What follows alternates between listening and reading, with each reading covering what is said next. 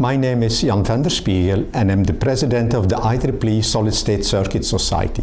I have the pleasure to introduce the VLSI Circuit Symposium video series entitled VLSI Circuit Insight 2016.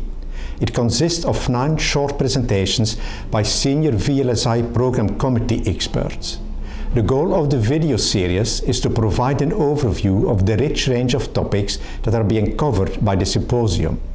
It is modeled after the highly successful ISSCCX that was introduced two years ago under the leadership of Anantha Chandrakasan. VLSI X is part of the Society's educational initiatives as a way to increase its membership benefits.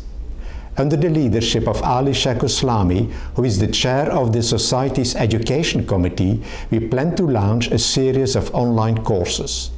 VLSI X is part of this initiative. It is also a fitting tribute to the 30th anniversary of the Circuit Symposium. This effort would not have been possible without the dedication of several people.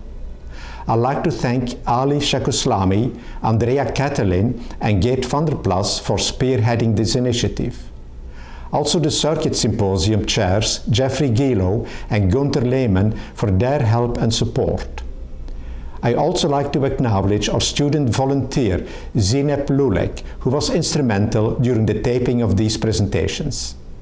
Finally, I'd like to thank Mike Kelly and Abira Sengupta of the Solid State Circuit Society Executive Office for their continued support and bringing this course to a successful completion. I hope that you'll enjoy this educational product. Feel free to send me your comments and suggestions.